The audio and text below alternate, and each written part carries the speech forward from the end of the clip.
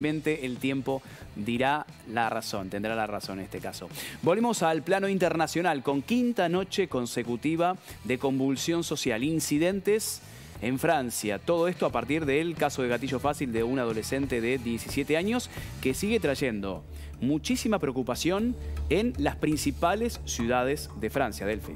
Exactamente, estamos hablando sobre todo de los puntos, por ejemplo, de la ciudad de Lyon y de Marsella, donde se, bueno, donde se registran los mayores disturbios, ¿no? Estamos hablando de la quinta jornada de protestas, de disturbios, violentos disturbios en Francia. Ahora, lo cierto es que desde el Ministerio de Interior de Francia lo que dijeron es que anoche fue una jornada un poco más tranquila. ¿Por qué? Porque estamos hablando de que hubieron, que igualmente, por supuesto, las cifras hablan por sí solas, pero 700 detenidos, ¿no?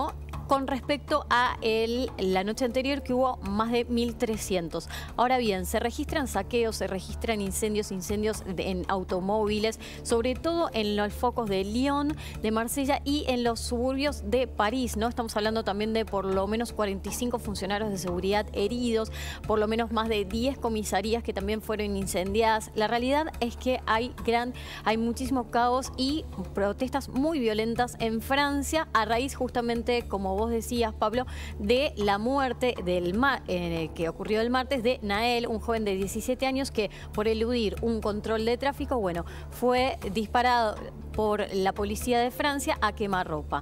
Y bueno, lamentablemente, eh, bueno, despidieron al joven el, ayer ayer por, eh, por la noche, eh, perdón, a, durante, a lo largo del día.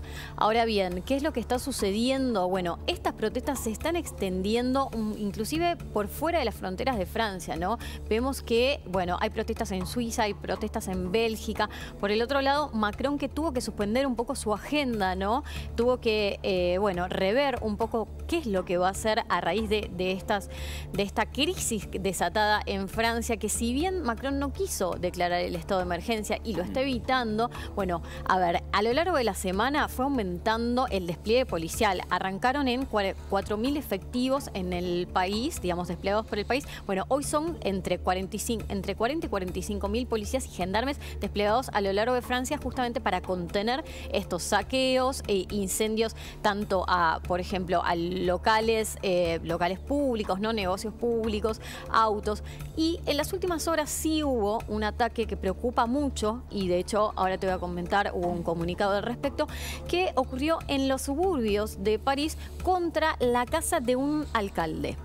Eh, chocó un auto, un auto incendiado chocó contra la vivienda de, un alcalde en París y a raíz de esto, bueno, todas las alcaldías de Francia sacaron un comunicado y lo que están diciendo es, se están pronunciando al respecto y están llamando a justamente hacer una protesta mañana en reclamo, bueno, por supuesto, por la violenta, violenta situación que se está desatando, ¿no? Contra, por un lado, funcionarios, contra la policía y por qué digamos, pongo el foco también en el tema de la policía. Bueno, porque este tema desató una vieja cuestión en Francia, o una cuestión en realidad muy actual, que es, bueno, un poco puso la lupa sobre la cuestión racial y sobre la discriminación racial de las fuerzas del orden, ¿no? De las fuerzas de seguridad para con, bueno, eh, inmigrantes, eh, sobre todo en los barrios donde hay, eh, bueno, sobre todo en los barrios, en los suburbios de París, ¿no? Donde, donde hay más inmigrantes. Bien, y sobre todo la importancia del mensaje de jóvenes futbolistas como Mbappé pidiendo a los jóvenes, porque principalmente son jóvenes los que están encabezando estas revueltas y estos incidentes para bajar la tensión, para controlar la situación y lo que decíamos ayer, ¿no? Con nuestro corresponsal y nuestro periodista que estaba allí en Francia, cómo se vienen sucediendo diferentes hechos sociales de convulsión social. Hay un germen social de violencia acumulado durante los últimos años con los chalecos amarillos en, París, con destrozos con incidentes durante semanas y represión de la policía allí también en la capital francesa. La suma ahora de la reforma previsional impulsada por Emmanuel Macron que trajo semanas de protestas donde se sumaron los sindicatos, los gremios laborales allí en Francia y ahora el asesinato de este joven que trajo este nuevo germen que se despierta, que está latente y que no deja de ser digno de análisis, ¿no? ¿Qué está sucediendo con la sociedad francesa y el vínculo entre las autoridades, las instituciones de la democracia, de la democracia, con las nuevas generaciones y sobre todo las nuevas generaciones de inmigrantes, hijos de los países ex colonia de Francia por el mundo. Y ahí está la cuestión. El punto de la cuestión es ese. Esperemos que se solucione este conflicto y que se vuelva a la normalidad también en Francia. En Francia estuvo hace poco, ya se fue, ya se, se retiró de ese